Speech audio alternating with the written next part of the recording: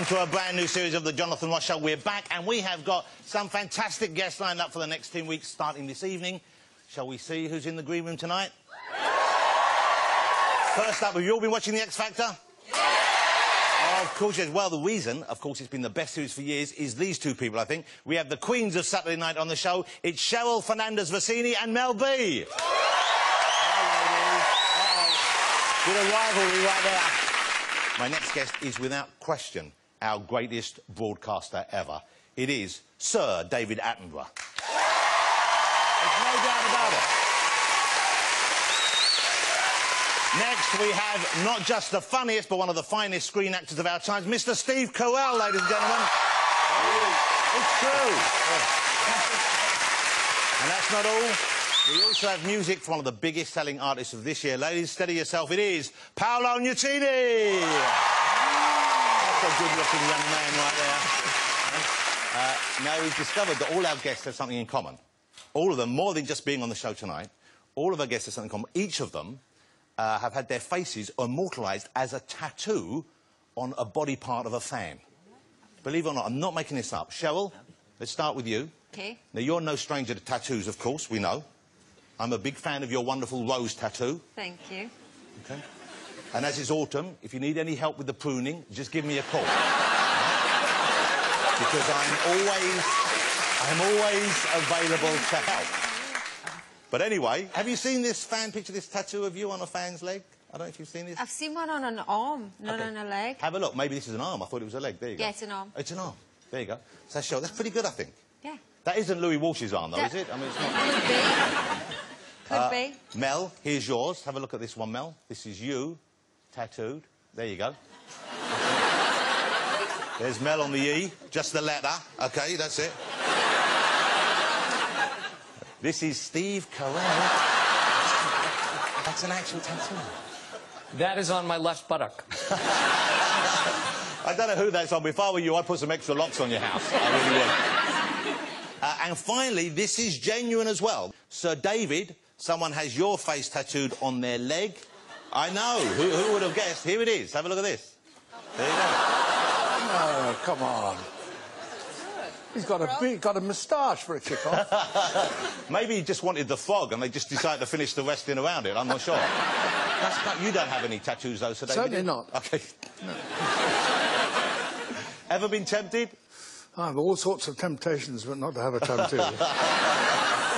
Let's get my first guest out, ladies and gentlemen. Between them, they've had, this is remarkable, between them, they've had 18 number one hit records.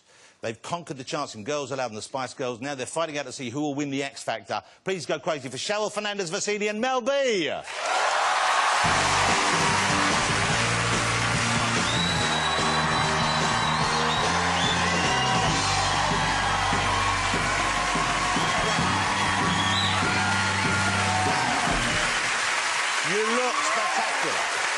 lovely to have you here again. There you go. Have a seat, have a seat. Mel, great to see you. Lovely to see you too. Come on, sit down. Haven't seen you for a while. Well, it's lovely to have you both here. We're on a Saturday Thanks night. You're on a. Saturday night, of course.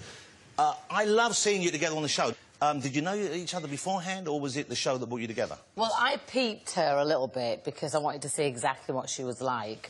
And she's like a strong, independent, gorgeous woman, so I knew that I'd get on with her straight away. Okay. What do you How mean- can you not? What do you mean you peeped her? What is a peep? Well, you know, you like Google and oh, watch a few like YouTube videos of interviews and stuff. Sorry. No, that's quite nice. I like and I already knew Mel because, well, I felt like I knew her because I grew up with her, you know, watching the Spice Girls. and- Now, how do you find the judging? How do you find it? Because, of course, Cheryl's done it before, and Mel, you've done bits and pieces, but being together here and doing this series of The X Factor, it strikes me that it, it's tougher than ever before. No, it is tough. There's elements of it that are horrible. That actually I would never want. I don't want to be on my side of it, so I would never want to be on the reverse. Which elements are you talking about in particular? For the six-year challenge. Okay. For a start, I've never been through that experience before, and I'll never go through it again. And this was because you didn't want them to do that, did you? No, I begged. I begged the producers to not let me take. I even thought about how I could be sick that day. You did. She texted me that, didn't you? yeah, I might be poorly tomorrow. Wow. So you really were. And why were you worried about it? What in particular? Because Well, I just think it's a bit of a like. I know it's good viewing for like you know the people watching, but to do that to someone to tell them they've got an opportunity, then take it away. Like, and it's not like how you see it. We were over a course agonising like four hours. Yeah. And me personally, I had about 17 or 18 girls. I had the most out of all the categories. And so you had, let's explain this. So you had 17 or 18, it comes to the challenge, and what do you have to do? You have to tell them yes or no. They can take a seat if they get a yes, and then if you change your mind, you have to switch them with somebody else. I loved it. And Get off! Well, but this is interesting because it does seem to me that you aren't as sensitive. No, I am sensitive. I cried She a lot. is. Yeah, but no, She I mean to the actual. Im- no, she is. but I mean to the moment there. It's like you are. You seem uh, to have a tougher approach to show business. She didn't have. She didn't have half as many girls. Uh, well, I had like really good girls, and her guys were kind of obvious. Yeah. Do you I think? thought, I thought you were about to say that my guys were a bit more crap. Kind well, that's I mean. so you faced Not easier the ones that you chose. Like, she chose the obvious ones. Yeah. That were really good, like yeah. where all the girls I had were good, and you had to condense that one where they're four hours down to one hour. Where I actually told a lot of people no before anyone got a chair. So I you were haven't watched it already thinning the ranks a bit, and then you got. But they all really only left in the bits where you kind of said yes, yes, and Well, then they, no. well, yeah, well, they kind of, it's Yeah. like Colosseum in there, literally. You've got people booing you, throwing So, stones. have you you seen it back? Have you watched I that bit back? watched- There was one controversial moment because you said yes to a couple of people that the audience were obviously a bit, you know, not certain, and then you said no to someone. You know what happens is they they see one performance where we've seen maybe lot, three, audition four by then. everything. Exactly. so you're not basing it just on that moment But there. they You- are, Okay, the well, audience. let's have a look at this and then uh, Okay. just see how they reacted. Okay, what's this? My mind keeps saying run as fast you can. I say I'm done, but then you pull me back. Oh, I swear you're giving me your heart attack, troublemaker. I don't understand why you would do an Ollie Murs song. Wanted to think outside the box. Maybe that was wrong. Sorry, I can't give you a chair.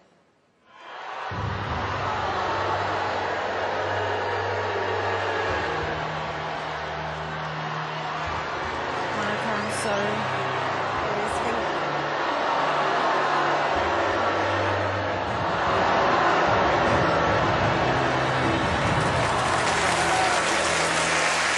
You can see, but I can see how upset you were having to do that. No, So- I think it's I think it's awful. I think it's You're a dream crusher. and she just tells them literally, get off the stage, like, get off. Well, you do. Uh, I you- wish I could have a bit more of her approach, to be honest, but I feel it. But- I'm a sensitive person. Mel, have you always had that toughness? Well, it's not toughness. I'm just honest. You know, I do have, like, feelings and stuff. I've got four kids of my own, Yeah. so I am sensitive. Okay. But, you know, I do think sometimes people just need to be told, Yeah. stop.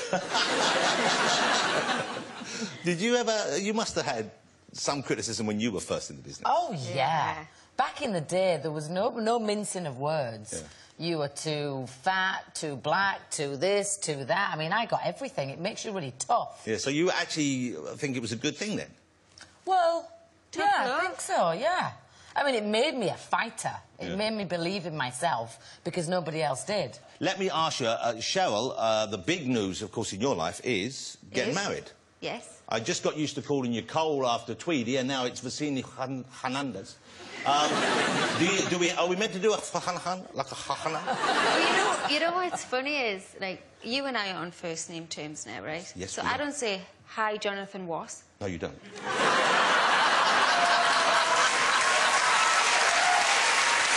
Because that would be hurtful. Therefore, I there really say- is no need to say, hi, Cheryl Fernandez Puccini. so really, we can just call Okay, each other Jonathan okay. and Cheryl. Well, he's now he's a French gentleman, isn't he? Yes. Because it sounds like a Spanish name. That's what I assumed it was. It's a, a bit Italian. Okay, okay. Uh, so how's married life? How are you enjoying it? It's great. How long have you been married now? Since the 7th of July. Okay, so, so you're remembering that anniversary date. Yeah. So that's a few months. That's not that long then. 7, 7, 14, that's how I remember. So you're still probably in sort of the honeymoon phase, really? Yeah. Okay, so you're not kind of farting in front of each other yet? I don't do that anyway. Mel, I bet you do a home, don't you? No, I'm a lady. Why are you laughing? Uh, how how's your French coming along then? Because he, he must speak pretty good English, I guess. Yeah, je parle français. Je parle français, That's pretty good. And do you have any, uh, what, what kind of help does he give you? What kind of words or phrases has he taught you? I couldn't possibly see them on ITV. Are they, they're saucy? I couldn't possibly reveal. but I hear when he's on the phone and stuff, that's how I picked it up. Okay, but you could, you can understand him pretty clearly when he's I speaking can in his... understand more than I can speak, to be honest. Right, yeah, well, Otherwise, that's- it would be very offensive stuff I was saying. And do you live here or are you going to live in France? No, I live here. You live here. Yeah, completely. And Mel, you're mainly in America. Yeah, Okay, in LA. You like over there? I do. I've been there on and off for like 15 years. Wow, that's a long time. And so your kids, really, they know America better than uh, they know the UK, don't they? Well, I mean, they travel around a lot with me, so they've been back to the UK a lot, but they do have really strong American accents, They're which is so really weird to me. They're the most well-mannered, cutest kids ever. Thank you. No, That's they very really lovely. are. I don't know what happened, Harold. Yeah. Does it, does it seem strange to you to hear your children speaking with American accents, though? Well, I think they they find me strange. Like when I say go put that in the bin, they go, "Don't you mean the trash?" and I'm like, "No, I mean the bin." Man, they sound, they sound really annoying kids, you know. Well, husband's American too, Yeah. but more New Yorkerish. But he can't help himself. He was born there. Yeah, there you, You go. Uh, I'm excited by this. Mel, who's uh, not over here for this long, I guess, just for the show, but you're hosting uh, the Mobos this year. Oh yeah, I'm Yeah. a bit nervous about that Well, It's on ITV2, isn't it? And so, because I've got to read. and the auto cue's like quite far away, and I'm a bit, I'm, I'm a bit, bit, bit blind in that eye. but it'd be a good, it'd be a fun night, I would have thought. Yeah, it is a fun night. I hosted it for four times before. Yeah, yeah. Oh, amazing. How? Yeah. Why are you, you? You've always had bad sight in one eye, or is that? a No, what happened is I got my eyes lasered like when I wasn't meant to, like 15 years ago, and then that one in a million chance, Oh, that one reversed. Oh man, was it painful? No, I just can't see out of it. You can't see at all out of it, or you've got. Well, you're, you're just like a blur. You look gorgeous. That's probably the way to look at it. Yeah, yeah. Soft focus. That's nice. And they can't fix it. Well, I am going to get it fixed at the end of the year. I think I want to get like a cornea transplant, so Oh, hopefully wow. I won't be seeing what the other person's Wow. seeing, the other dead person. I never, I never knew that. Yeah. well, that's what it is, You, isn't I it? Don't, I don't know whether medically wow. that's proven yet. You mean you think you might see what the other eye was seeing Well, before? you, you think that you might be dreaming of what the other person No, dreamt. no one else thinks that. Well, I, I think so. No one else on Well, the planet ho- thinks that's a Well, possibility. maybe it's just me. Hopefully it'll be fine, and then I'll be able to see again. Okay, uh, you're doing some music and lots of other things, I know, but it's still music really is your main thing, isn't it, Cheryl? Yes. That's your main thing. Cheryl has a new single out. Did you write this? Did you write the lyrics to this? Co-wrote. Yeah, they seem pretty personal. Uh, the single's called I Don't Care. Have a love look at this. I'm going to ask you about the un uncensored version in a minute. This is out 2nd of November.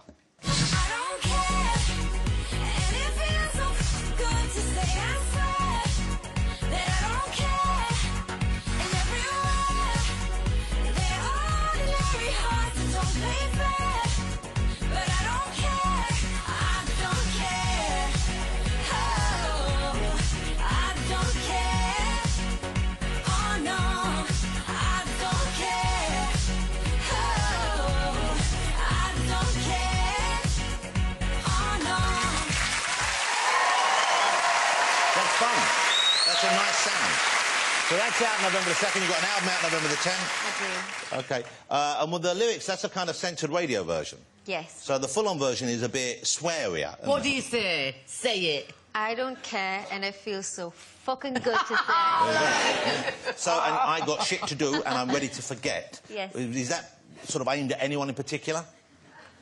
No, just anybody that's bothering us that day. I've got shit to do. I can't be Okay. bothered, you know. What does Simon think? Do you run your music past him, or does he not? No, I actually did play him this track. No, I don't usually, Yeah. but he was around when I got a mix in. So I said, have a listen to this, and he really loved that one. That's great. You want to have his opinion. Would you do anything musically together, do you think? Yes. I did speak about I that the spoke other about day. this, yeah.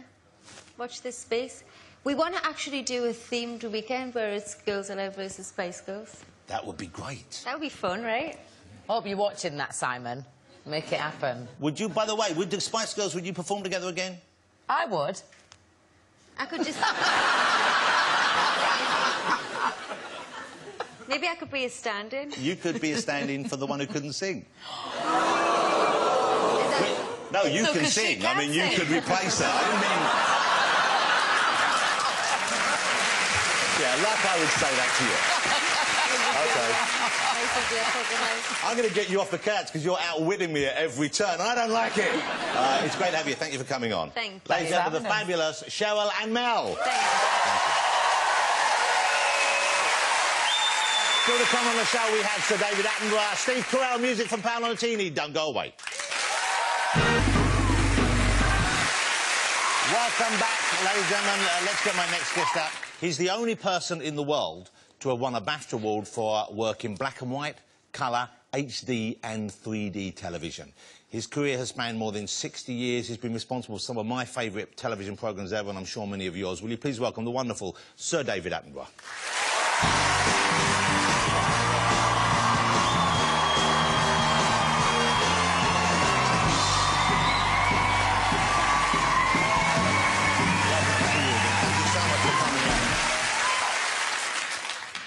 Well, I hope you know, Sir David, it's always a real thrill for me when you agree to come on the show. Genuinely is. Um, it's unbelievable. You've been broadcasting Megashow's for 62 years.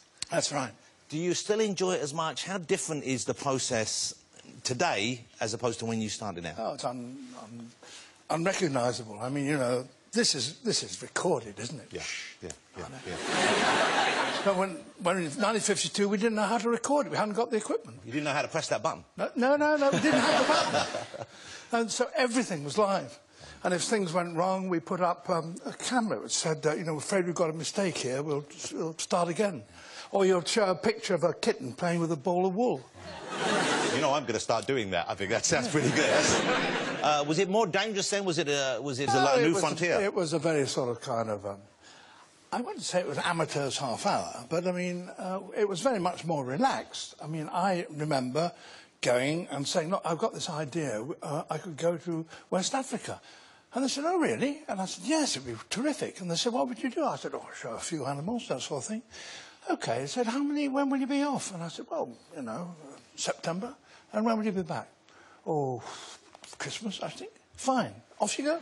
Was that Zoo Quest you're talking Yeah, about here? Yeah. Okay, so Zoo Quest was a show, and you weren't the main presenter initially, is that No, I was a producer, and uh, still am, in, really. Uh, and the only reason I appeared was that the, the man from the London Zoo, who was going to do the presenting, uh, got very ill, and because it was a live show, I mean, if it happened now, well, you would do something, you wouldn't put the show on.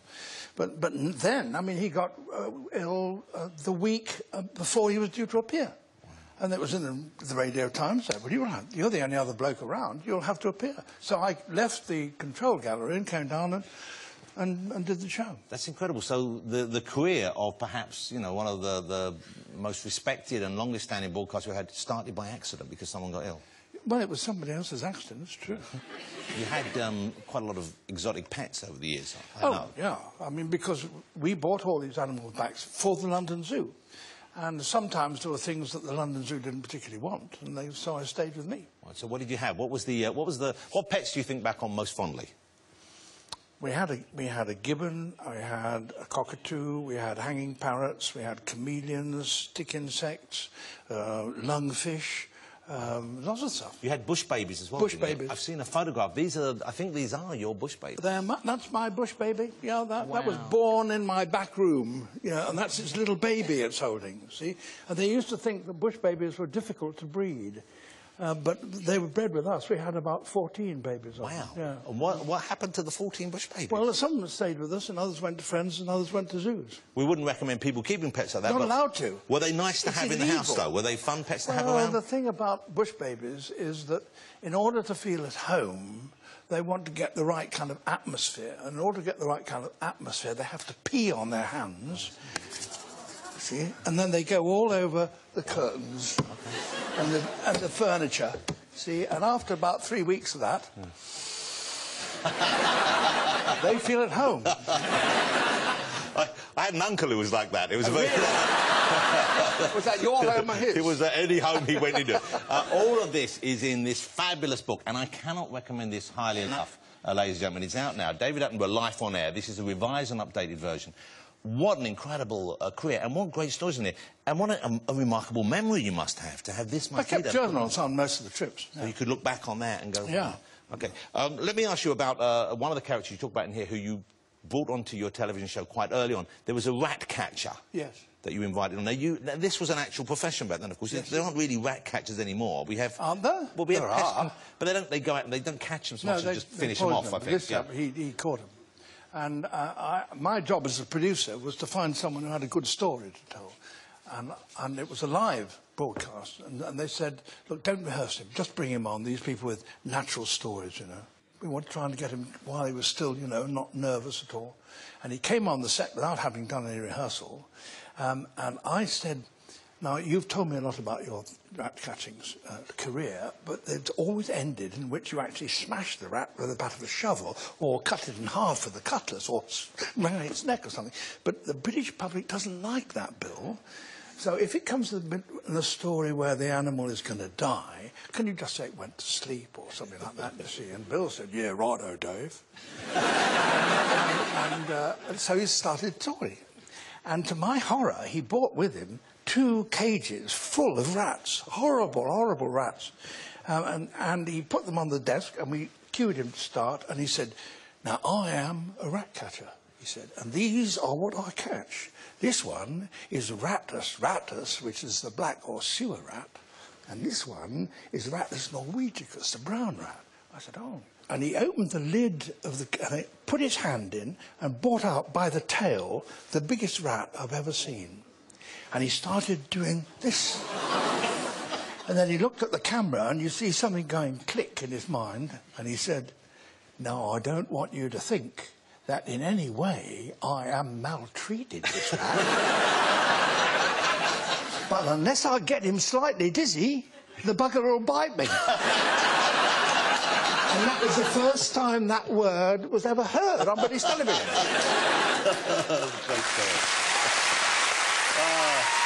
Great story. Great characters, though.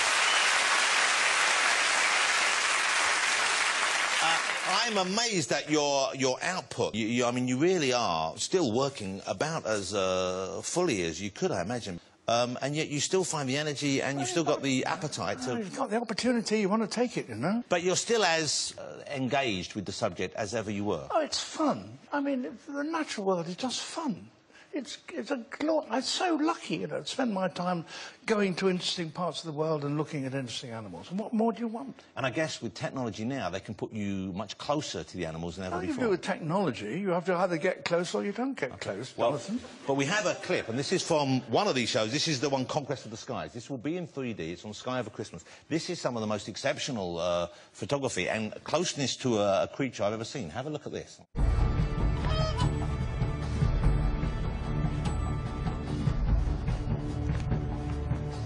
What a gift. The ability to move through the air in whatever direction you choose, to cross continents and oceans, mountain ranges, deserts and rivers in search of food, or a home, or a mate, or simply to escape from enemies.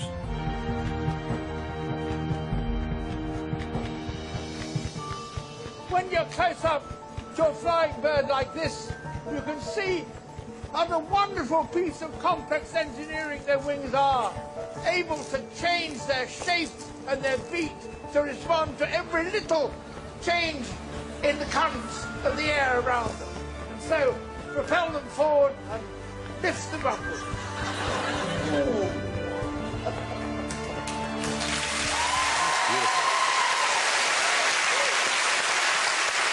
That's quite something, isn't it?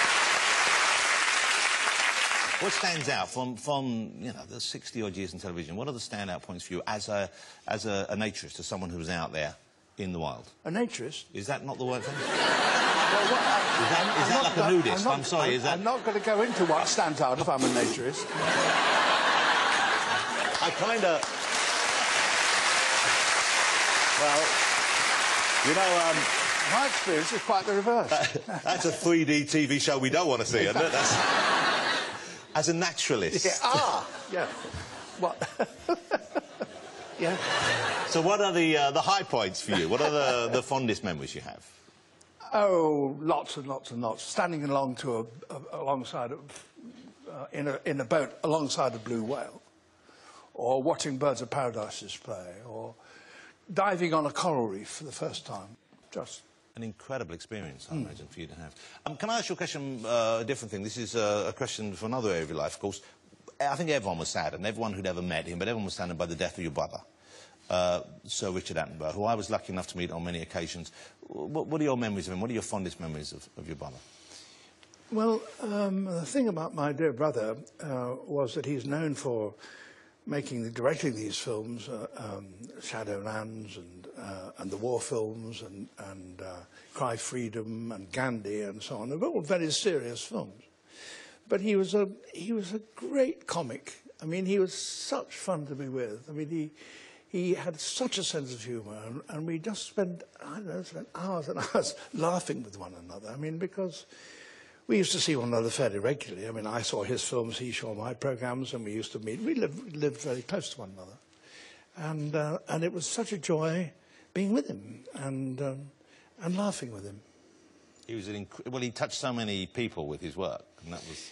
Yes, he, he- I mean, he had those two talents. I, I think perhaps the most extraordinary film he made, the most remarkable film he made, was Oh, What a Lovely War, uh, which was, it was almost surreal, as you remember. I mean, it wasn't a realistic film, and not like Gandhi or, or the rest of it. And it was full of high jinks, and, uh, and yet it was about this profoundly serious subject. And there was not a dry eye in the house at the end of that show. I mean, uh, and it was a very, very imaginative and remarkable film. Incredible achievement. Uh, it's so lovely having you on the show. I'm going to ask you to stick around if you will. But for now, ladies and gentlemen, will you join me in saying thank you to Sir David Attenborough? Still to come after the break, the star of Anchorman and Despicable Me, that's Steve Carell and Paolo Nutini will be performing live, so don't go anywhere. Welcome back, ladies and gentlemen. Let's get my next guest right out here. He's a great comedy actor. I Had roles in Little Miss Sunshine and The Way We're Back. Have also established him as a great screen presence as well. It is the fabulous Mr. Steve Carell.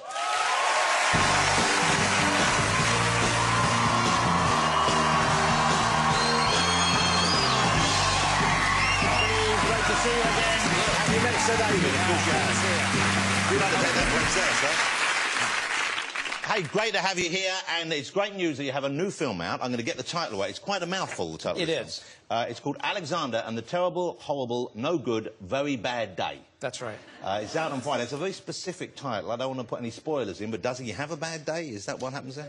Uh, the kid has a bad day. No one really cares. He wishes a bad day on the rest of his family, and then they have a bad day. So you have a bad day as well. Uh, eventually, yes. We all have a very terrible, horrible, no good, very bad day. You don't play the kid in the film, though. I do. a lot of prosthetics. Um, no, I am the kid's dad. I am Alexander's father. Okay. And do you channel your own experience as a father at home when you perform as a, a father on screen, or is it not that way? No, Jen Garner and I uh, play the parents, and we we both brought in elements of who we are as as parents. And if anything didn't ring true, we definitely pointed it out. I guess what's nice about making a film like this is you can watch this with your children. Yes, you can. How old are your kids now? My kids are 10 and 13, and they saw it a couple of weeks ago. And they liked it? They, well, what am I going to say? Am I going to say they hated it? They loved it. Yeah. You know what? It's actually, it's one of those, you never know when you do a movie and then you go to see it and you're hopeful. Yeah. And this one turned out really well. It's actually quite funny. So I was, Well, I was I've seen it. I enjoyed it. I'm being honest. You know, my wife and I went to see it in a screening room at Disney and holding each other's hands like, I, I don't know. We'll see. And it actually turned out well. So, So I, guess even when you're in a film, I guess you never know until that moment when it's all been put together. You don't. Because sometimes you think, wow, that was fun, and then it's terrible. um, and, and other times you're just, you don't know, you don't have a sense of it, and uh, somehow it magically turns out well. And how long after a film has been released can you talk to people honestly and say that was terrible? Never. Okay. so you have to maintain with You the people involved. You can never admit to it. Okay. So if you asked me, I would say all of them are fantastic. Every single film you've been in. And I enjoyed working with everybody. Uh, before we see a clip from this, there, you do work with some animals in this film. There's some close-up animal action. I tend to work with animals quite often. You've done a lot and of I was really intrigued by your conversation before. Uh, yeah, I find myself working with children and animals quite a bit. You work with, uh, there's a kangaroo scene in this movie. which- Kangaroos are odd animals. Um, what I didn't understand, I'd never been close to a kangaroo. Kangaroo's tail is just one massive muscle. and they can put their entire weight back on their tail and do serious damage with their, their hind legs. Have you worked closely with kangaroos, Sir David? Yeah, I have actually. Um, done lots of stuff about the way in which they produce their young, which is quite complicated, isn't it? I have no idea. I only know they have the big, horrible looking tail. You're, you're not going to be taking over from Sir David then, I can tell the, the level of knowledge there. That I, I, I would agree with that. But I guess they have a lot of people making sure that things don't go awry when you have the bigger beasts on set with That's, you. they are animal wranglers. Okay, well, what, which animals have you worked with where you thought things might go in the wrong direction? I worked on a movie called Evan Almighty where I was doing a scene with a baboon. And they'd given me no instruction at all. And so I sat next to the baboon, and in the scene, I was supposed to take a drink, put the drink down, and the baboon was trained to pick up the drink and take a drink as well. We were sharing the drink.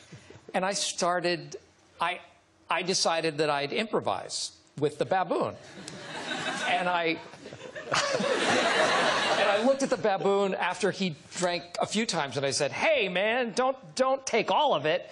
And the baboon went, "Yeah." The the the threat of, of bodily harm, um, and and it was kind of scary. And the uh, the trainer afterwards said, "Oh yeah, don't don't look at the baboon." don't talk to the baboon, don't look at the baboon. And uh, I thought, well, you might have instructed me as to this previously before I did the scene with the baboon. Um, Let's have a look. This is a clip from Alexander and the terrible, horrible, no good, very bad day. It's out on Friday, and it's a comedy for everybody. Five, six,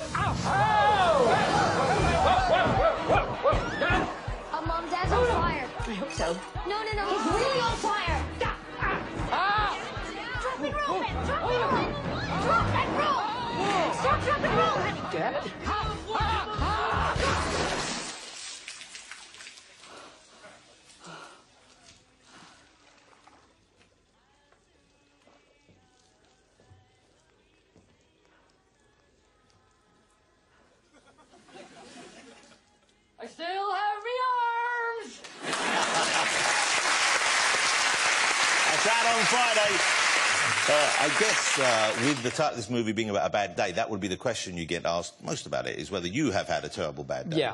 Uh, and what would the answer be to that? Uh, yeah, everybody does. I think my bad days consist of bad days that I would talk about. You know, a flat tire, your kid leaves his homework and you have to drive it to school, that sort of thing. They're more annoyances than, than really terrible. What about the recently I read, and I hope this isn't too personal, that you had a you had a hip replaced. I did. That was a bad day. That must be a pretty bad day. Yeah, that was about a, that was almost exactly a year ago. Um, I had a hip replacement, a full hip replacement, and uh, and I held off as long as I could until the doctor said hold off until you start to limp, and then have a hip replacement. So I went in.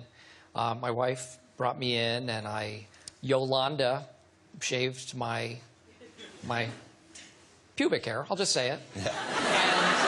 And, uh, which I didn't know. I didn't know Yolanda was going to be doing that. and she just decided, again, like the baboon, no one tells me anything. um, so the pubic hair is shaved, and then the doctor came in and said, so let's talk about your hip. What do you want it made out of? And I thought, this has been months leading up to this.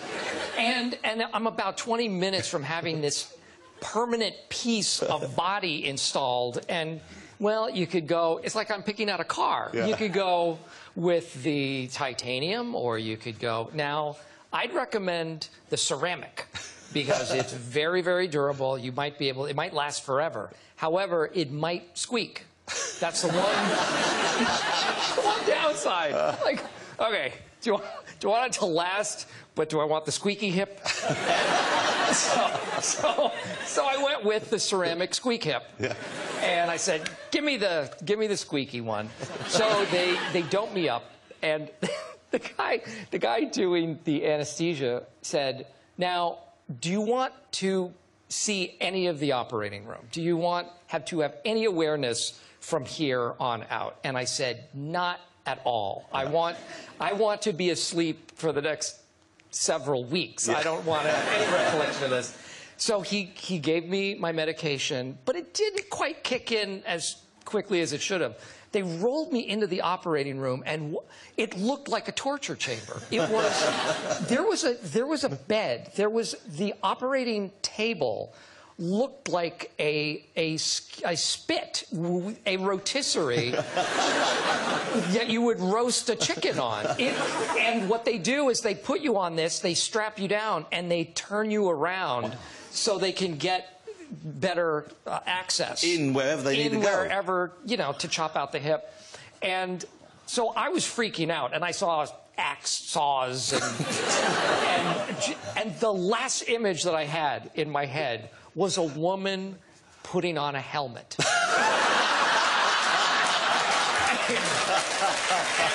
I'm not even kidding.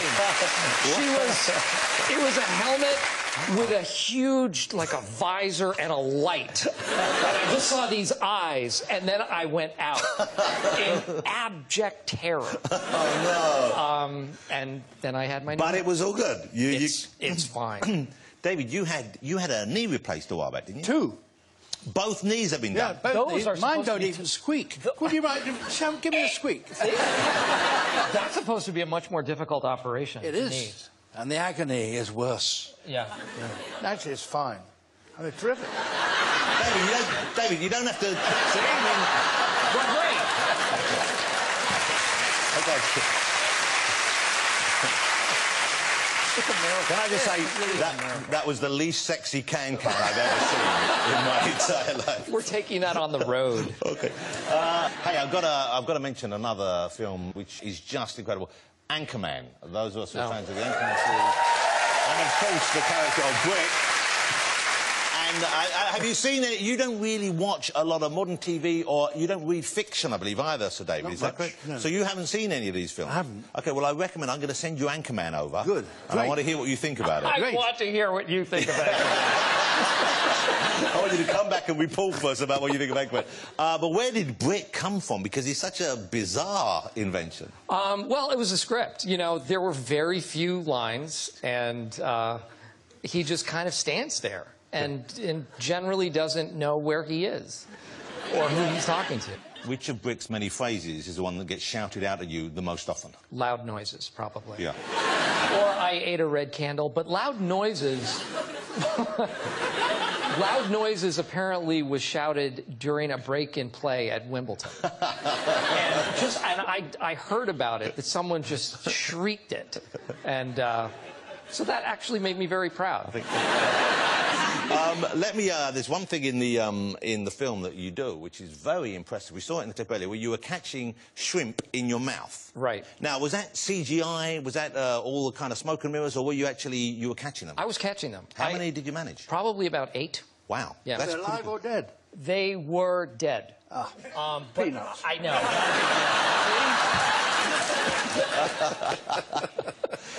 But that's quite some skill. Have you always had this talent? I don't know, and I didn't know. I mean, they were prepared to d- computer generate that, but I was able to catch Didn't them. need to. No, I Did didn't you- need to. Did you still like shrimp after the event? Not really. Okay. I don't have any shrimp here. Okay. But I, I have uh, a fruit bowl. Oh, Okay. man. And I wonder whether we could try a couple of grapes. Sure. Okay. I, I can't guarantee that I'll be able to do it. Well, let's try a couple. All right, let's try. David, you want in on this? Not with your hands. Anyone catch a grape with their hands. That's not... Okay, here we go. Okay, let's see this. All right. Don't choke on one. All right, I'll try. Have you ever given anyone the Heimlich maneuver? Sir I David? beg your pardon. Okay. okay. All right. This is, uh, Very well done. you've just joined us, welcome to Gay Fruit Party. Here we go. Okay. Forget that one out. I gotta okay. move. I Okay, gotta here move we go. around. Okay. One. Yes. Focus. That one, that's it. Okay. Let's try. That's pretty good. Should we try something bigger? Okay. Uh, it's nearly. We could. it's Halloween. Why don't we go? Okay, you, you up for this? Okay, here we go. Okay, take a step back because I want to get a swing on this. Go back one more step. Okay. Okay. Are you ready? And good luck. Wow, look at that. Wow, look at that. How? That's quite something. You see? And so David thought TV was dumbing down. I'll take that off you, Steve. Don't, don't want to give away the magic. There you go. And, um, and- and unless you're a complete idiot, don't try that at home with an actual pumpkin. Uh, Steve, the film's out Friday. Can you tell me the full title again? No. Okay, it is. Alexander and the terrible, horrible, no good, very bad day. It's a funny film. Go and see it. Don't go away. After the break, uh, Mel and Cheryl will be joining Steve and David on the sofa. We'll also have music from the fabulous Paolo Nutini. But for now, ladies and gentlemen, Steve Carell. Welcome back to the show. Welcome back, Mel and Cheryl. Um, we were talking uh, with Steve about terrible days. That's the premise of the new film. Do you, have you had a bad day you can remember? What's the worst day you can remember, Mel? Uh, I don't really like to think I've had that many bad days because I like to turn it around. Were you a positive But person? I've had a few. Would you like to share one with us? Well, like when you don't make the loo in time and stuff. Well, I'm joking. or am I? so, David, I imagine a bad day for you could have been when your life was actually in danger. Some of the exploits you've had. Oh, I don't know. Um, I suppose uh, sitting on a boat, in a small boat, uh, with no wind in the sail, and sitting there for three days on a on a coral reef, just going up and down. That's quite bad. Becalmed. Becalmed, yeah. Oh, and you couldn't get back to land. No, we were miles out. Yeah. Did you have food? Uh, rice only. Only. How do you have rice on a coral reef? Yeah, we were stuck on a coral reef. Canned rice. Canned rice? No, no, no, no. Rice, you know, off the, off the rice plant. Just had rice. That exact same thing happened to me. Uh, before we move on, you've got a lot of pets. Mel, you've got uh, quite a menagerie at home now, haven't you, in, in, in LA?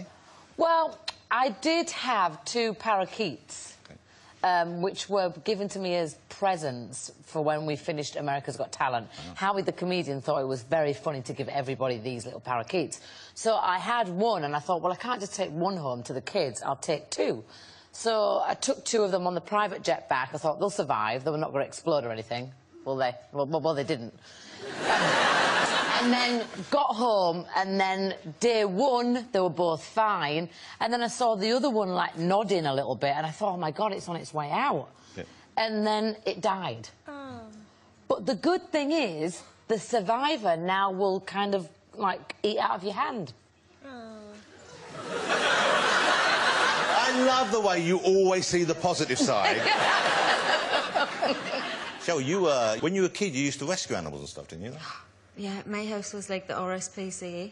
Literally anything that that was injured or in a bad way.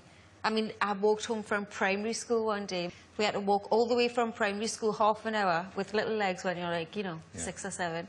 Take our bucket and spade that we used to take to the seaside all the way back, some rubber gloves to rescue a hedgehog that was stuck down a drain. We took it back and set it free in the park. And the hedgehog's fine? The hedgehog was very happy after that. It didn't die then, like my parakeet. Mel's story always ends with someone being blinded or an animal being... OK, it's been great having you here. Thank you again. Sir David Attenborough, Mel B, Cheryl, whatever your new name is, and Steve Carell. Uh, I'll, I'll get it. I can't... I didn't want to say it wrong. That's all it was. Uh, next week, I'll be joined by Daniel Radcliffe, Russell Brand, Rio Ferdinand, and she's currently in the West End. Lindsay Lohan will be here. Also, Hot on the Hills with their number one album. We have music from the script. But now, with one day, one of the best talents we have right now, Mr. Paolo Nutini, ladies and gentlemen.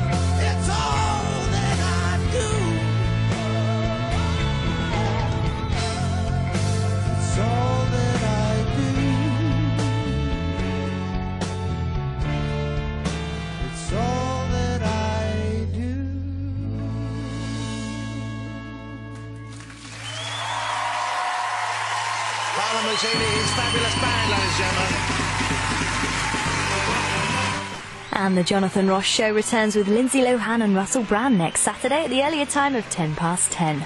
You've seen them perform everything from Blondie to the Proclaimers. Vote for your favourites ahead of the X Factor live results at 8 tomorrow.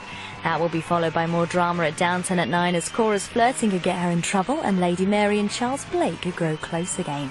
But next, it's the ITV News.